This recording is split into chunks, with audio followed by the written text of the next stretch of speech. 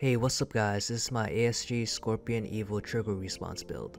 For the internals is rocking the SHS 12 to 1 gears. I have the SHS Swiss cheese piston with the full metal rack. The rack is also epoxy down.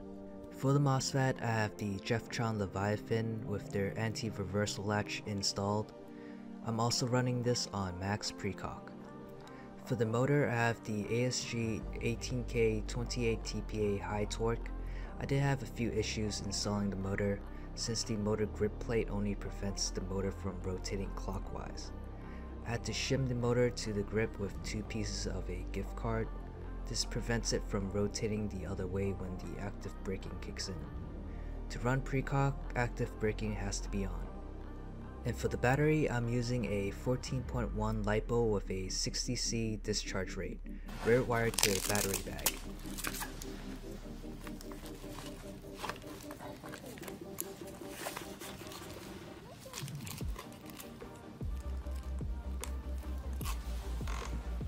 So this is how the current setup sounds like.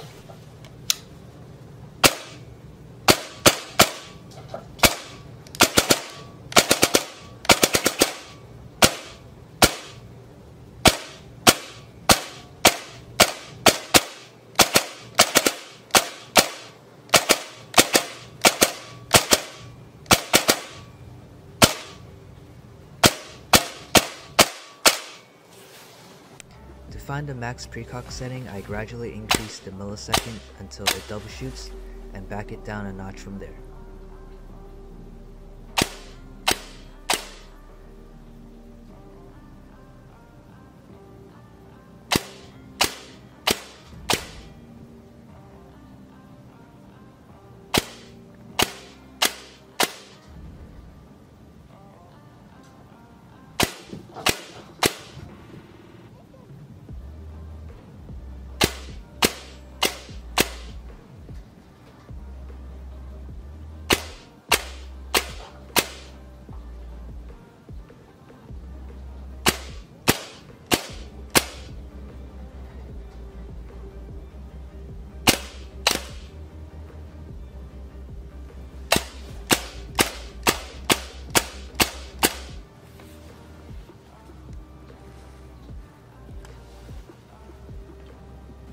On full auto is getting 21 rounds per second. Not so bad for a semi-dedicated gun.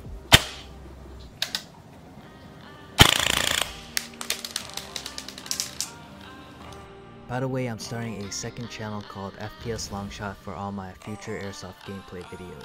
Thanks for watching and I'll see you guys in the next one.